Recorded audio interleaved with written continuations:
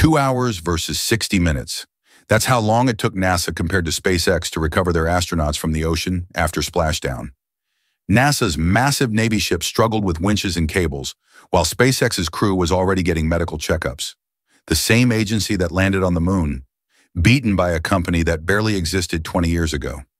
But how is this even possible? SpaceX uses one modified ship to do what NASA needs an entire fleet for. The techniques they develop don't just save time, they're revolutionizing how we think about bringing humans back from space. What we found will shock you. This isn't just about speed, it's about the future of space travel itself. Let's dive right in.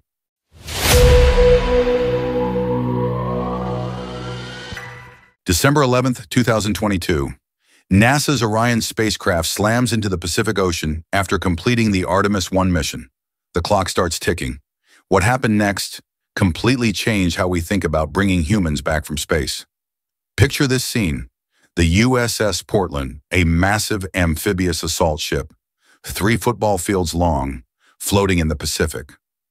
Navy teams scramble across the deck. Small boats race toward Orion's floating capsule. But something's wrong. Winches groan under the strain. Cables tangle in the choppy water. The ship's enormous well deck slowly floods with thousands of gallons of seawater. This is supposed to be routine. Two hours later, Orion finally sits inside the ship's belly. Mission accomplished? Not quite. Because thousands of miles away, SpaceX engineers were watching this entire operation, and they were taking very detailed notes. Here's what NASA didn't know. While they perfected their Cold War recovery methods, SpaceX had been quietly building something revolutionary. Their weapon? A modified offshore supply ship called Geo Searcher. Originally designed for recovering Falcon 9 parts, this vessel became the backbone of human spaceflight recovery. But here's where it gets interesting. SpaceX's approach wasn't just different, it was completely backwards from everything NASA believed about spacecraft recovery. No flooding massive compartments, no teams of small boats fighting ocean swells, no two-hour extraction procedures. Instead, one crane, fast response crews, 60 minutes, done. The numbers are brutal. NASA, two plus hours, 50 plus crew members. Amphibious assault ship, SpaceX, 60 minutes. 15 crew members, modified supply vessel. How is this even possible? The answer lies in a design philosophy that NASA never even considered. SpaceX didn't just build a faster recovery system. They completely reimagined what it means to bring humans back from space. Dragon's secret weapon, a wide side-opening hatch with a quick-release mechanism, while NASA's Orion requires complex extraction procedures. Dragon astronauts literally walk out on their own, even after spending days floating in zero gravity. Think about that for a moment. You've just spent weeks in space. Your body adapted to weightlessness, and you can still walk out of your spacecraft like you're getting off an airplane. The medical advantage is staggering. SpaceX ships carry full medical teams, ready to evaluate astronauts the moment they step aboard.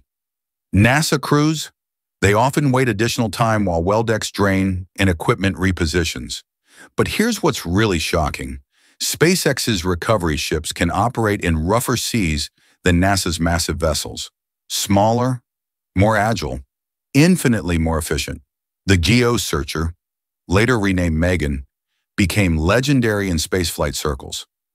This single ship recovered 24 astronauts across multiple missions, from the dramatic in-flight abort test to the historic Demo 2 mission that returned human spaceflight to American soil.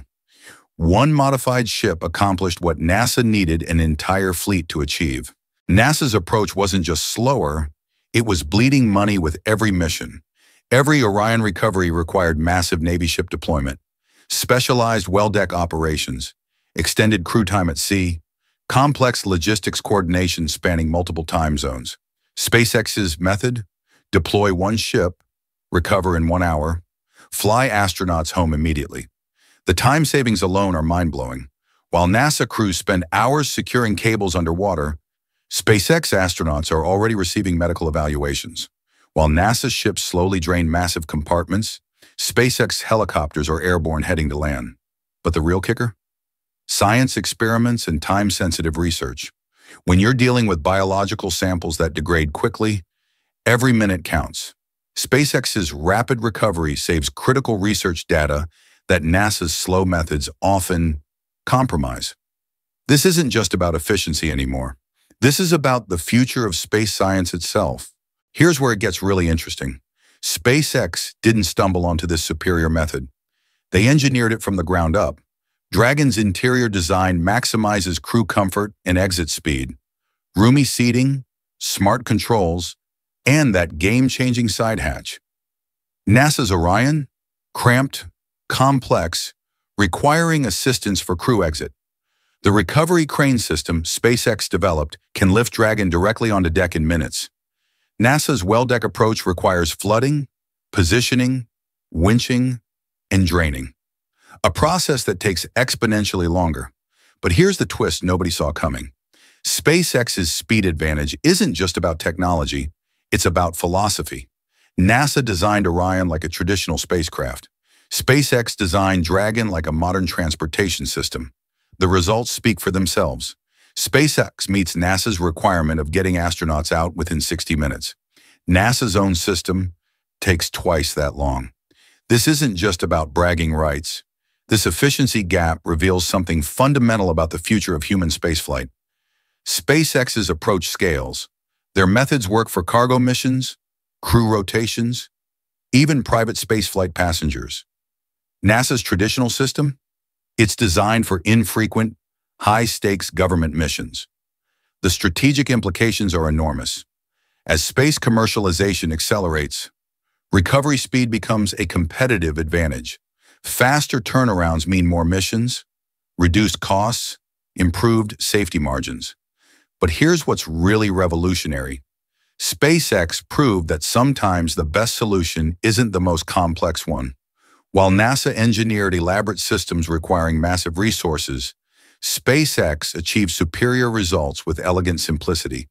This changes everything we thought we knew about aerospace engineering. In 2025, the GEO Searcher completed its final mission on the East Coast, helping return two stranded NASA astronauts during Crew 9. Then it retired to Louisiana. This wasn't sentimental, it was strategic. SpaceX is already deploying newer, more efficient recovery vessels. Their goal? Reduce launch costs by up to 30% while maintaining their speed advantage. The message is crystal clear. SpaceX isn't just competing with NASA's recovery methods, they're making them obsolete.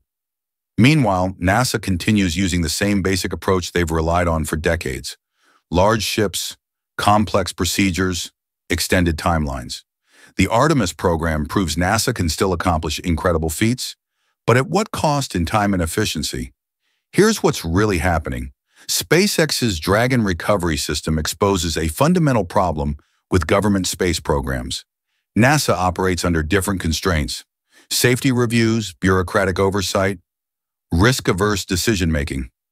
Every procedure requires extensive documentation and approval processes. SpaceX operates like a tech startup. Rapid iteration, aggressive timelines, performance-driven decisions. If something doesn't work, they fix it fast and move on. The result? A private company that barely existed 20 years ago is teaching NASA how to recover astronauts from space more efficiently. But here's the question that keeps industry experts awake at night. If SpaceX can revolutionize recovery operations this dramatically, what else can they completely reinvent? This recovery revolution isn't just about Earth operations. It's about establishing the infrastructure for humanity's expansion into space. Mars missions will require rapid, efficient recovery systems. You can't afford two-hour procedures when operating millions of miles from Earth with limited resources. Commercial space stations need quick crew rotations. Extended recovery times become bottlenecks that limit operational efficiency. Space tourism demands passenger-friendly systems. Wealthy customers won't tolerate lengthy, uncomfortable recovery procedures. SpaceX's Dragon recovery system is the prototype for all future human spaceflight operations. Fast, efficient, designed for routine use rather than occasional heroics. The implications extend far beyond just getting astronauts out of capsules. This is about fundamentally reimagining how humans travel to and from space, And NASA just got a masterclass in modern aerospace engineering from a company that started in a garage. The question isn't whether SpaceX's methods are better. The question is, how long will it take everyone else to catch up? And what happens to the space agencies that don't? So here's what we learned today. SpaceX didn't just beat NASA's recovery time, they completely reimagined what's possible when you throw out the old playbook. Two hours versus 60 minutes. That's not just a number, it's a revolution in thinking. While NASA clung to methods from the Apollo era, SpaceX built the future of human spaceflight recovery. But this story goes deeper than just capsules and cranes. This is about what happens when innovation meets bureaucracy, when startup mentality challenges government tradition, when elegant solutions replace complex systems. The real question is, if SpaceX can revolutionize recovery operations this dramatically, what's next? Starship landings? Mars colonization? Deep space exploration? We're living through the greatest transformation in human spaceflight history, and companies like SpaceX are writing the playbook for humanity's future among the stars. What do you think? Are we watching the end of government space dominance or the beginning of true space collaboration? Drop your thoughts below because this conversation is just getting started. And if you want to dive deeper into how SpaceX is changing the game, our next video breaks down their Starship recovery plans that will make Dragon look like child's play. Thanks for watching Space Core. We'll see you in the next one.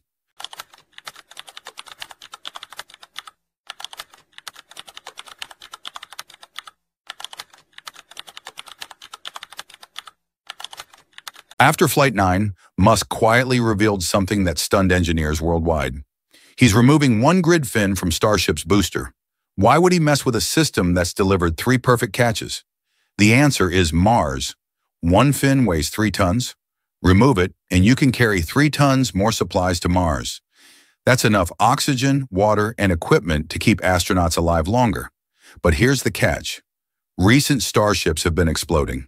S-33, S-34, S-35, all destroyed. S-36 blew up so hard the flames were visible from miles away. So why is Musk testing this risky change now? What he revealed about Mars missions will change everything you think you know about space travel. Let's dive right in. The room fell dead silent. There stood Musk, next to a massive Starship booster, pointing at something that made every engineer's heart skip a beat. The presentation slides flashed the impossible. Only three grid fins, where there should be four. This wasn't a design error. This wasn't a typo on the slideshow. This was Elon Musk, betting humanity's Mars future on removing three tons of proven flight hardware. Three tons. That's heavier than two cars stacked together. Compare that to Falcon 9's tiny 140 kilogram fins and you realize we're talking about something 20 times more massive, something that's worked perfectly three times in a row. But Musk saw something nobody else did, a problem so massive, it could kill Mars colonization before it even begins.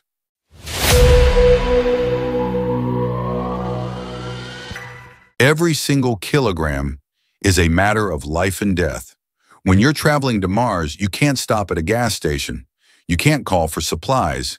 Everything you need to survive must fit in your rocket. And right now, Starship isn't carrying enough. Here's the brutal reality.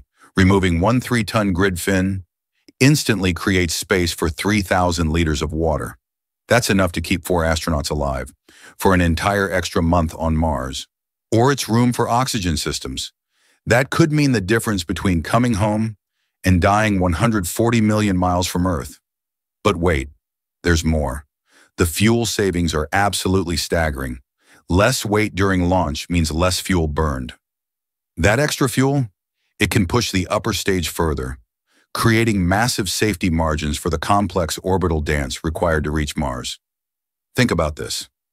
NASA's plan requires 14 separate tanker flights just to fuel one Mars mission.